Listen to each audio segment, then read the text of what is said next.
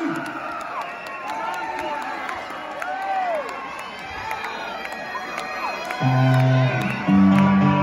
you.